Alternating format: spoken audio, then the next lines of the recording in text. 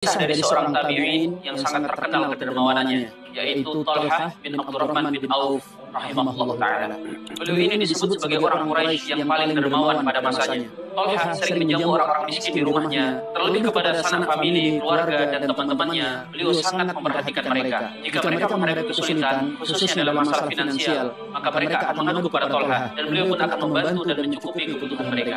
Melihat ini, istri Talha seperti tidak suka, apalagi sebagian teman-temannya hanya hendak memanfaatkan beliau. Seperti yang lazim terjadi, ketika seseorang dalam kondisi senang, akan banyak orang yang menghubungi bahkan mengaku sebagai keluarga dan teman. Ketika kondisi sedang sulit, akan banyak orang yang pergi dan menghilang.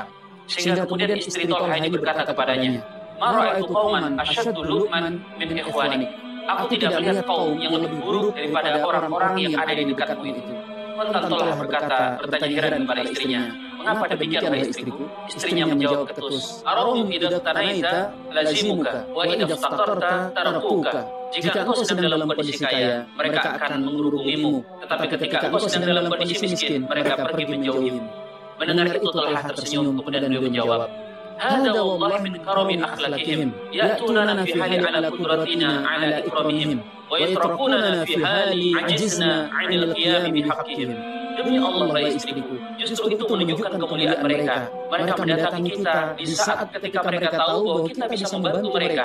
Dan mereka membiarkan kita, mereka meninggalkan kita sejenak ketika mereka tahu bahwa kita sedang dalam kondisi susah yang tidak bisa membantu untuk meringankan kesulitan mereka. Mereka hanya tidak ingin kita bertambah susah dengan kedatangan mereka. Subhanallah, lihatlah bagaimana indahnya akhlak orang-orang mulia.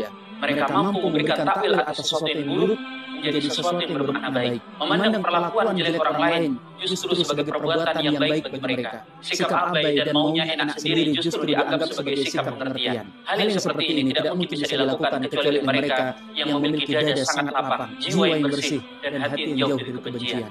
Ya Allah, karuniakan kepada kami hati yang seperti ini. Kisah dari seorang tabi'in yang sangat terkenal kedermawanannya,